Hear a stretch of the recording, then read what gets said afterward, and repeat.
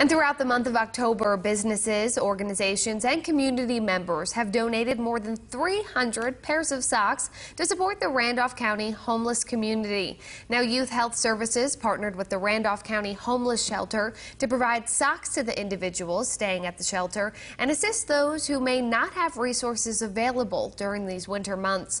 Now, officials say the support of the community is essential to the shelter's ability to provide the services. If we didn't have the community support, it would be very difficult with our limited budgets to, um, you know, to sustain and provide the services.